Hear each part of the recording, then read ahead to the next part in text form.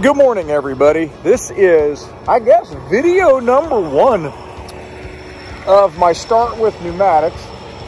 I am doing my pre-trip. I'm on the yard here in Little Rock. I've been running locally down to um, a place called Almatis, which is in Bauxite, Arkansas. B A U X I T E. It's 26 miles down the road. We're taking some kind of an aluminum powder, gritty stuff. I don't know what it is. I'm not a scientist. Out of these silos that you see on the yard here at Oakley often. And we're just running uh, trip after trip, three to four a day. I'm going to do my walk around here, just inspecting everything and uh, the blower unit was finished up and installed. Here's the exhaust canister. I guess that's what that is. I still don't know all the nomenclature, so cut me some slack.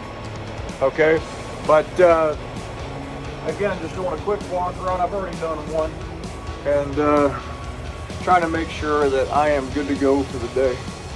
But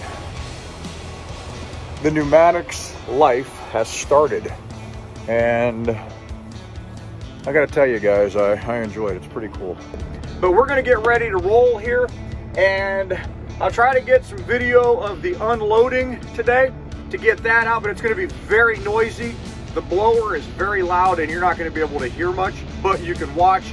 And actually what I'll try to do is block out the noise and reduce that volume in the video and do a voiceover if I can. so I can kind of explain what's going on as me as a novice understand it. So, hey, you guys have a good morning. Stay tuned. To be a lot coming up after this. Appreciate y'all watching. All right, Jimmy's Road Lyfe Pneumatics. Here we go. Have a good morning.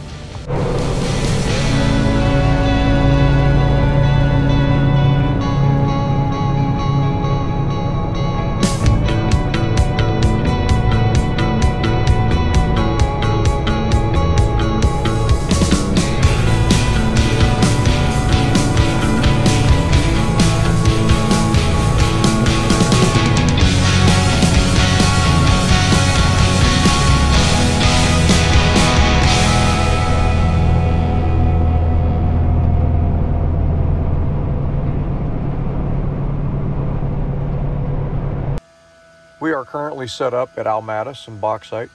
This is the operating side of the trailer. You'll notice the gauges. The one on the left is the tank pressure. The one on the right is the line pressure.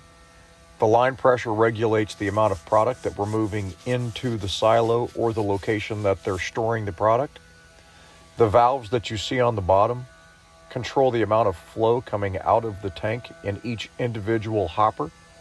This is your main airline. These are your main operating controls for the main lines. The blower unit is the silver can with the line coming off of the top, and that works its way back to the main line and pushes the air back through the trailer, moving the product out of the trailer and up into the silo.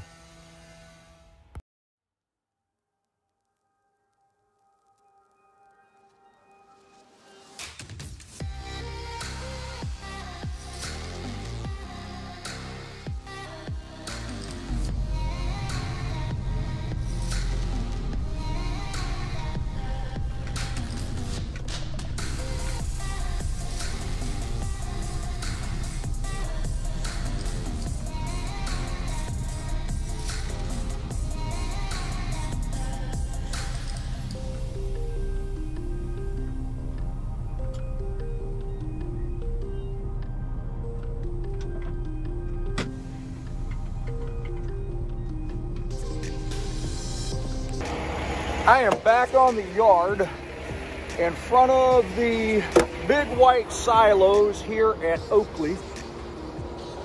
We're running out of this silo all week long, taking this product over to Almatis, again, the place that's over in Bauxite down the road. And we're getting three to four loads a day. Uh, it's a beautiful morning. Let me show you this real quick.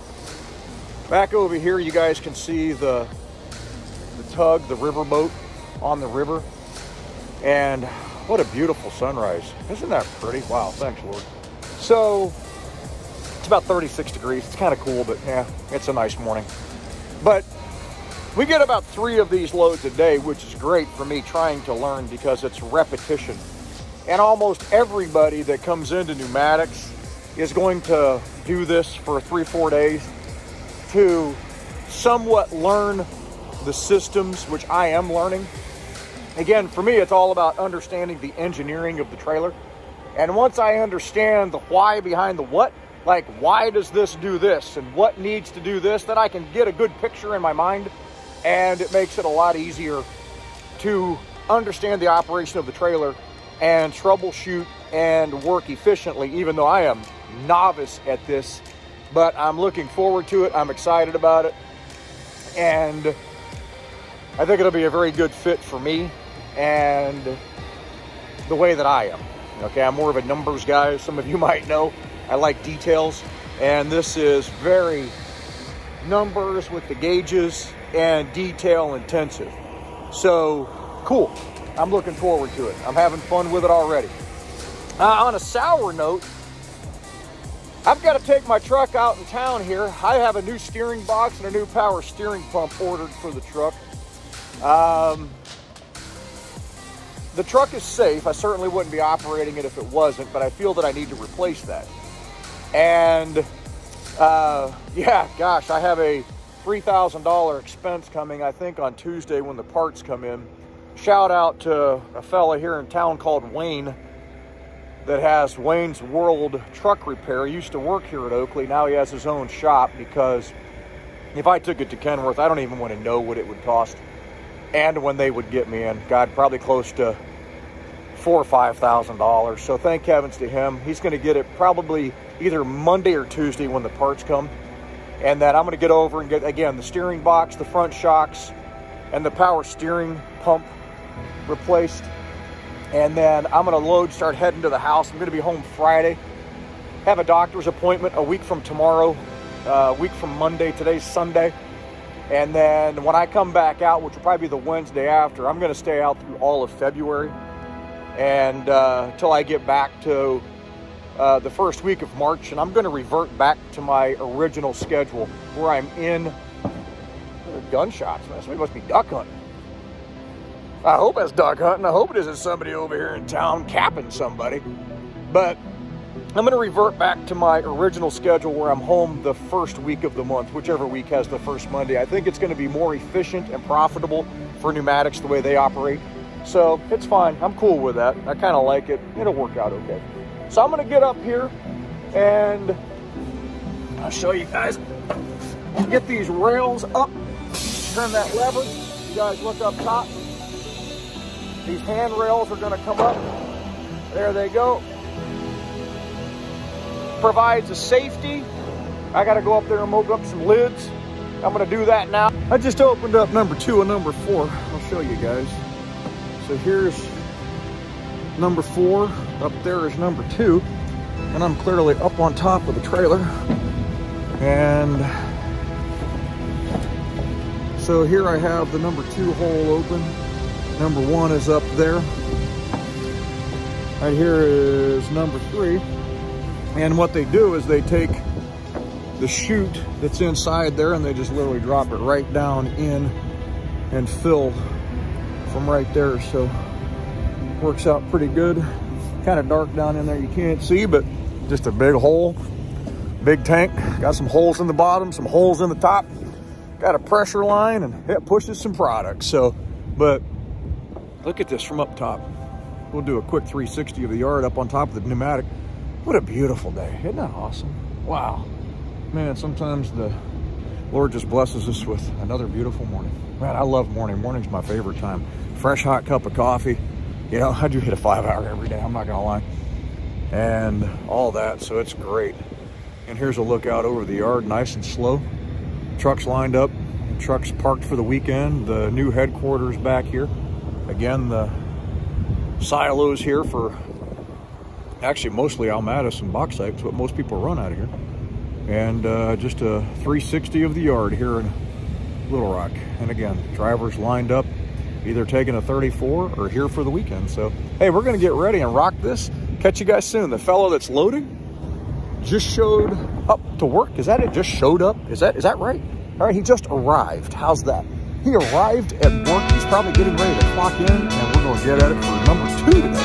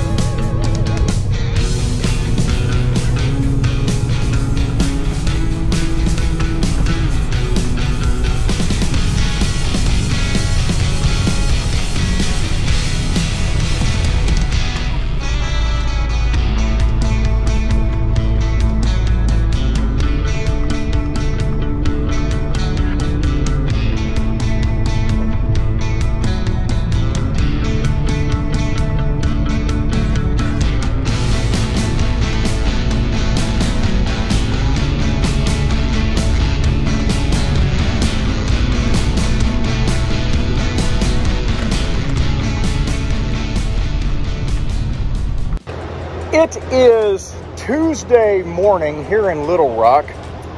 Back behind me is the fertilizer barn. I am in line at the silo, and you'll see there's a number of trucks. Me, the gentleman training me, Mr. Dynamite, there's another fellow there, and then Gerald is in the silo now. They ran out of product last evening. I was the last one to get loaded for a trip this morning and nobody was able to preload last night for today. So that's what everybody's in line for. I'm going to walk over by the barge and I'm going to show you how they load this stuff into the fertilizer barn, which is behind me here. So let's take a little trip. As you can see, they're in line at the silo. Here's the overhead conveyor that goes in. But take a look back here. We're walking, and this fella is offloading the barge with this, I don't know what it is, white powder. Again, I'm not a scientist.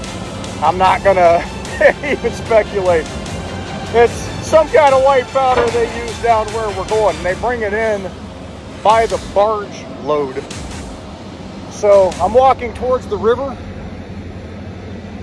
And you can see that there's a number of barges here.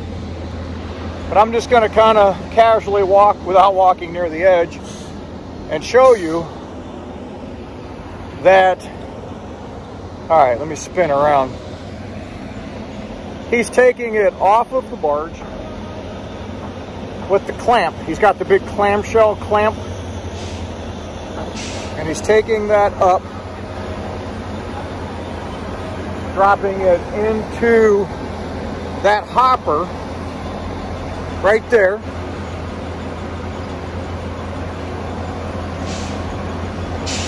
And then that hopper is carrying it up and into the barn. And then the barn is running it up the conveyor into the silo and then down into our trucks. So it's a very efficient operation. From what I understand, they can actually empty out one of these barges in just a little over an hour with that clamshell. It's amazing. I didn't think they could do it that quickly, but they certainly can. And if you guys remember me saying in a previous video, Bruce Oakley owns, I think it's 23 of these tugs and roughly 23 to 25 and 250 of these barges. So they have a very large river operation. Just a few podcasts ago, Jeremy Kellett had one of the riverboat captains on, and Jantran is the name of the barge company. But here he is dumping the powder into the hopper.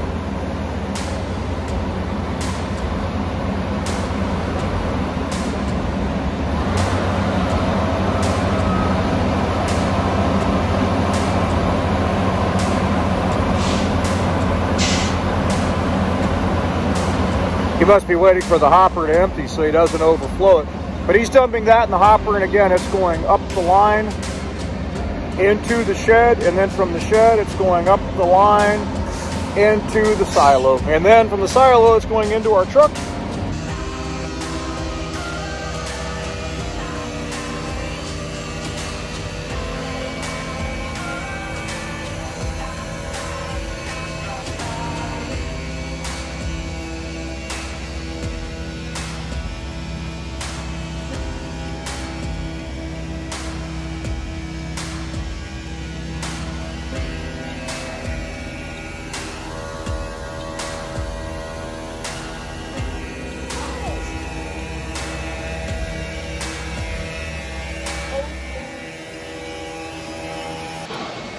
What a beautiful day here in Arkansas. Look at this sunshine.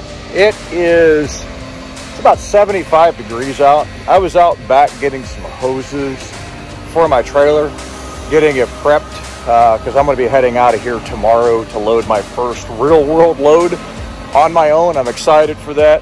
And I've got to go back and make a couple of hoses because I need a short one uh, that's about probably eight feet long and that'll fill my tubes but uh, it's gorgeous here. As you guys seen previously, I was running the whatever that is out of these silos. I'm done with that now. Uh, tomorrow morning, my truck is going to be in the shop right out in town here. I have to get some front end work done on it, uh, replacing uh, the steering box, the power steering pump, and the front shocks. So I'm going to go ahead and knock that out. Uh, so notice some wobble in there, some issues that the truck was safe to drive, but I just thought it better to go ahead and replace that since the parts are in and the gentleman out in town has a very good reputation with Oakley drivers and get it done here. And it worked out great since I was working locally, running the tanker loads right down to bauxite while I was learning some of the processes. So that's cool, gonna get that done. And then I'm on the road. I gotta head home this weekend. I have a doctor's appointment on Monday. But then when I come back out, I'm going to be out on the road for a while. Uh, probably about four weeks, maybe five. And I'm going to shift back to my previous schedule out the last three weeks of the month and back into the first. But right now, the truck and trailer are getting washed. The trailer is getting a wash out. And that's new for me, other than a dump trailer washout, which is rare. But these guys are taking care of the tank up on the inside and getting it cleaned out and ready for the next load. So when I'm done, I'm going to go down on the other side and dry it out. Uh, that'll be the first time I've done a dry out solo, so I'm going to try to remember all the steps and procedures.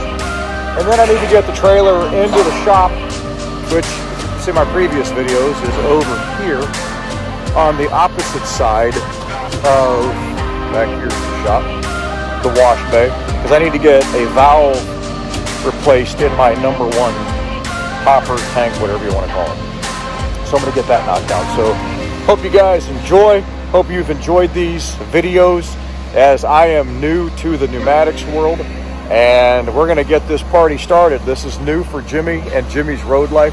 Again, if anybody is interested in Bruce Oakley, hit me up. My emails are embedded in the video somewhere, normally at the beginning and end. And I'm using a new editing software so it won't look the same as my earlier videos. So I'm still trying to figure out how to get those in, but it's Jimmy's Road Lyfe, L-Y-F-E at gmail.com. God bless you, everybody. I really appreciate you watching. And again, if you're interested in Bruce Oakley, email me, hit me up. I'll be happy to help you in any way that I can. And please remember to like and subscribe and comment if you can. Thank you very much. You guys have a good day. Bye bye.